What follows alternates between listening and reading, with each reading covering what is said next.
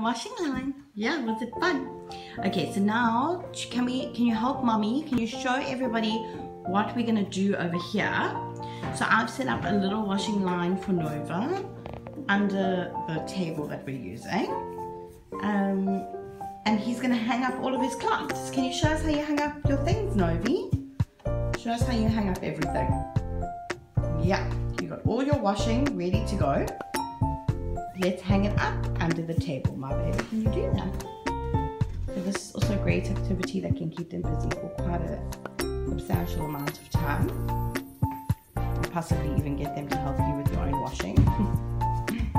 okay, are you ready? Show mommy how you hang up everything.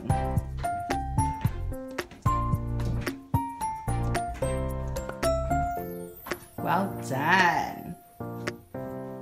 So you can make your washing line really long. You can put it all the way across the room. They love doing this in class. Um, Novi, can you show everybody? Let's see how you hang it up. Let's see. Oh, wow, that's so great. There was not working. What's wrong with it?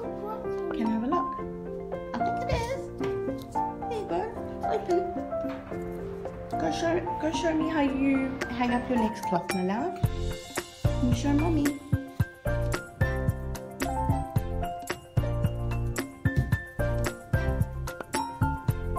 Oh, careful, I think there's two there. There you